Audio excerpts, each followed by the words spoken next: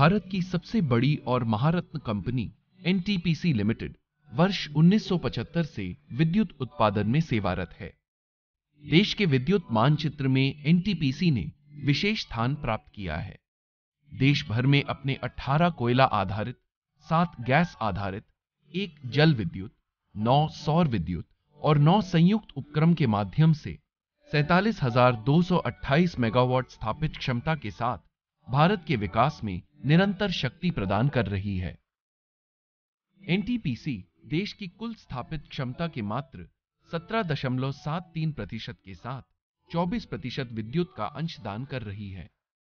NTPC Bharat के विकास को शक्ति देते हुए विश्व की सबसे बड़ी और सर्वोत्तम विद्युत उत्पादक कंपनी बनने की ओर अग्रसर है। बृहद विद्युत संस्था एनटीपीसी के 24,000 समर्पित कर्मचारी इस महत्वाकांक्षी योजना को साकार करने के लिए तन मन से सेवारत हैं। भारतीय विद्युत क्षेत्र में नए मानक स्थापित करते हुए एनटीपीसी सुरक्षा प्रबंधन, पर्यावरण संरक्षण, प्रदूषण की रोकथाम, नैगम सामाजिक दायित्व, राजभाषा, कर्मचारियों एवं उनके परिजनों का स्वास्थ्य, शिक्षा, परियोजना प्रभावित क्षेत्रों के विकास को महत्व देती है। अपने उत्कृष्ट प्रयास के लिए एनटीपीसी ने सरकारी गैर सरकारी राष्ट्रीय एवं अंतर्राष्ट्रीय स्तर पर अनेक पुरस्कार एवं सम्मान अर्जित किए हैं। दक्षिणी क्षेत्र एनटीपीसी लिमिटेड का एक महत्वपूर्ण अंग है। दक्षिणी क्षेत्र में 2600 megawatt Ramagundam 2000 megawatt Simhadri 360 megawatt Kayamkulam 1500 megawatt Vallur 250 megawatt Anantapuram सौर विद्युत 10 मेगावाट रामगुंडम सौर विद्युत और 5 मेगावाट पोर्ट ब्लेयर सौर विद्युत परियोजनाएँ कार्यरत हैं। दक्षिणी क्षेत्र परियोजनाओं का विस्तार, नई परियोजनाओं की स्थापना, उपस्करों की व्यवस्था, समन्वय आदि के कार्यों के साथ आगे बढ़ रहा है।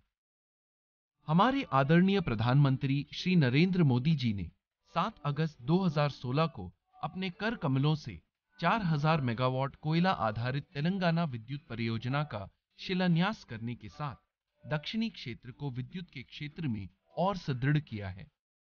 400 वर्ष से अधिक प्राचीन और ऐतिहासिक शहर हैदराबाद में विभिन्न प्रदेशों की जनता के बीच हिंदी संपर्क का सशक्त एवं प्रभावी माध्यम है।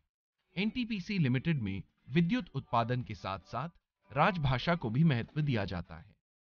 एनटीपीसी एक महारत्न कंपनी है राष्ट्रीय स्तर की।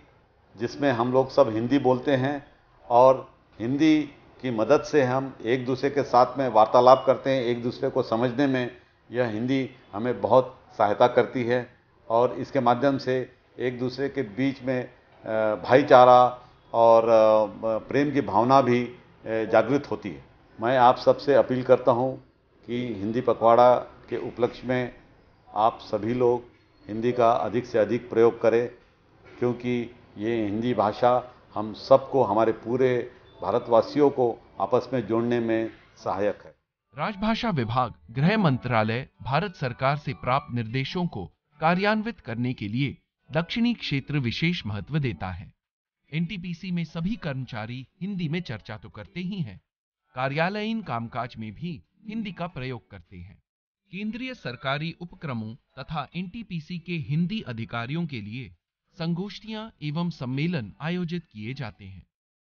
हिंदी विशेषज्ञों के व्याख्यान, हिंदी कार्यशालों एवं अनुवाद पाठ्यक्रम के आयोजन द्वारा प्रशासनिक एवं तकनीकी हिंदी के प्रयोग का प्रशिक्षण दिया जाता है।